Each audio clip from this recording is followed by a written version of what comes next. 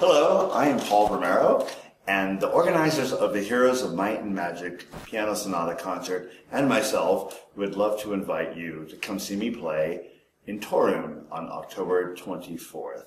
I hope to see all of you there. I'm going to be playing a lot of the tunes um, at the piano from the Heroes of Might and Magic computer game series. So I would love to see all of you guys there. See you soon.